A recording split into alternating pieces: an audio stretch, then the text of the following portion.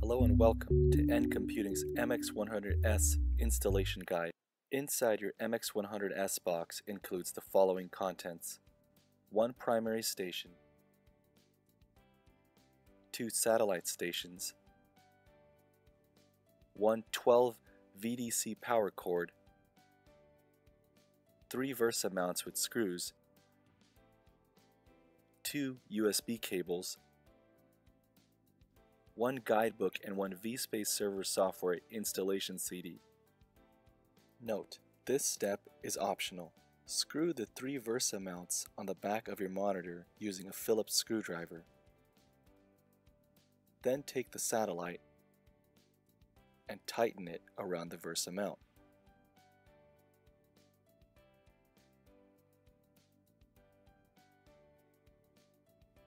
Using an Ethernet cable, connect one side to the primary station's RJ45 port and the other side to a switch or router. This link provides connectivity to the network. Attach the 12 VDC power cord to the back of the primary station and plug it into an outlet to power on the device. Next, use the VGA cable to connect the monitor to your primary station. You may connect up to three monitors per primary station. Lastly, connect the keyboard and mouse to the back of the primary station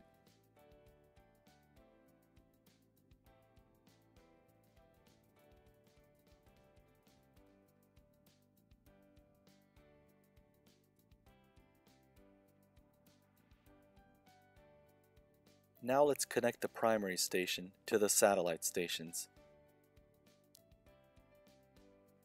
Take one USB cable, connect it to the front of the satellite station, and connect the other side to the back of the primary station. This powers on your satellite station. Then connect the keyboard and mouse to your satellite device.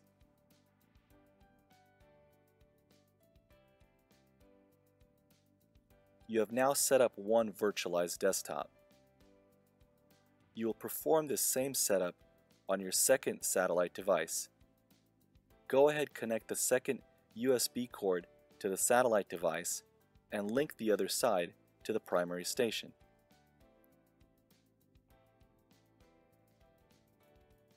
As well, connect the mouse and keyboard to the satellite device.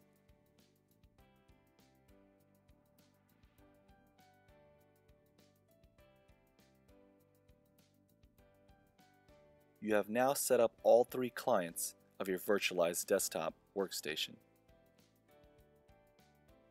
You can use the CD to install vSpace Server software or download it here from the website. Select Login for access. You can create an account or log in as a registered user.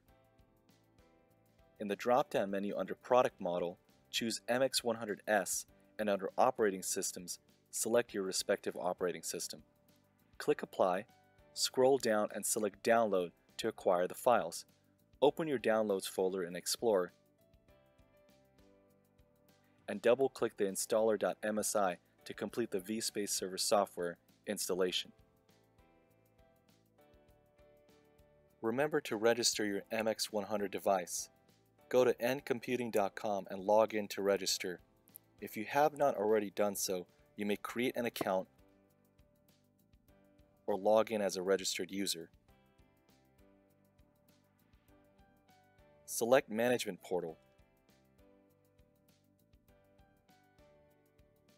My Devices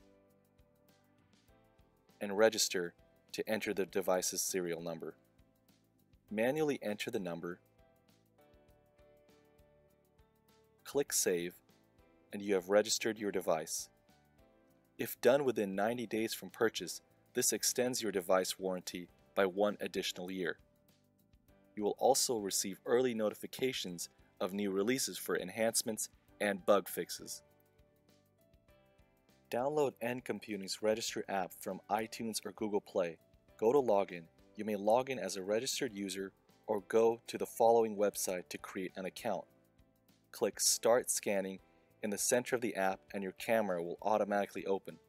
Hover over the device's serial number and the app will automatically take a picture of it. Click the timer symbol in the top left and you will see all the devices registered to your account. Please note the following. The MX100 device does not work on legacy operating systems, and the maximum users for MX100S is 45. You have now completed the hardware and software installation for your MX100 device. You are ready for desktop virtualization.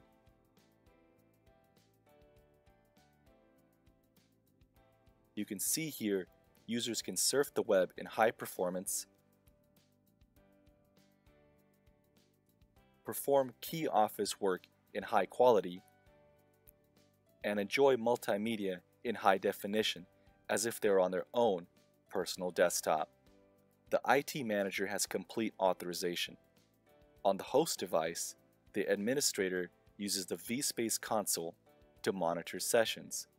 Click on the arrow in the bottom right of the taskbar, then double-click the NComputing symbol. Go to Devices to find the session of all connected clients. Right-click and select Find Session. From this interface, you may view the user's session,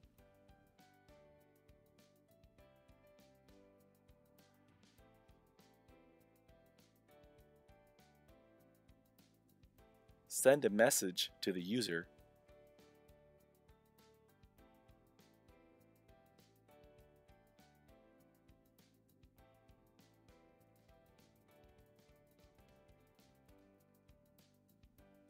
or end the user's session.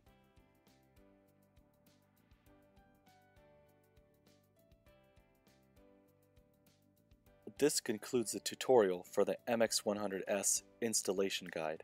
Thank you from NComputing.